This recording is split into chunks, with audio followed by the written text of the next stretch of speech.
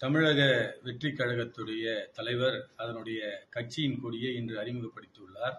அந்த கட்சியின் கொடியில் இரண்டு யானை சிம்பிள்களும் ஒரு வட்ட வடிவிலே வாகை பூ கொண்ட ஒரு சின்னத்துடன் அந்த கொடி அறிமுகப்படுத்தப்பட்டுள்ளது.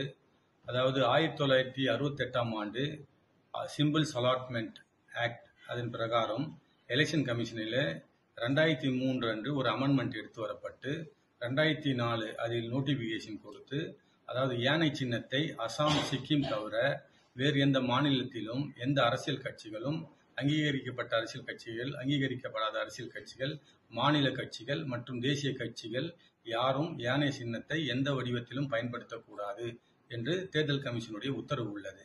இந்த கட்சியினுடைய கொடியை வடிவமைக்கும் போது இது சம்பந்தமாக அவர்கள் இந்த சட்டம் அவர்களுக்கு கவனத்திற்கு வந்திருக்காது என்பது தெரிய வருவதனால் எங்களுடைய கட்சி தலைமை மத்திய தலைமை அந்த கட்சியுடைய தலைமையுடன் நேரடியாக தொடர்பு சொல்ல வைக்க சொன்னார்கள். அதன் அடிப்படையில் நேரடியாக அவருடைய மேனேஜர் வெங்கட் என்பவரை தொடர்பு கொண்டோம்.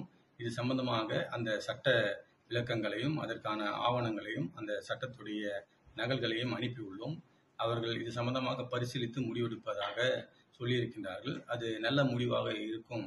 கட்சிகளுக்குள்ளே ஒரு முரண்பட்ட ஒரு கருத்து வந்து விடக்கூடாது என்பதற்காக எங்களுடைய மத்திய தலைமை அவர்களுக்கு நேரடியாக இந்த தகவலை தெரிவித்து அந்த சட்ட நகல்களை வழங்குமாறு எங்களுக்கு கூறினார்கள்.